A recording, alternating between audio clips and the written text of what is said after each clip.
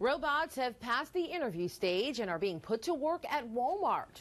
The future is now for retail giant Walmart. The company is using those robots to do tasks like scan for out of stock items, incorrect prices, and missing labels. Right now, Walmart is testing robots in just a few stores in Arkansas and California, but officials hope to have those robots in at least 50 stores by the end of January.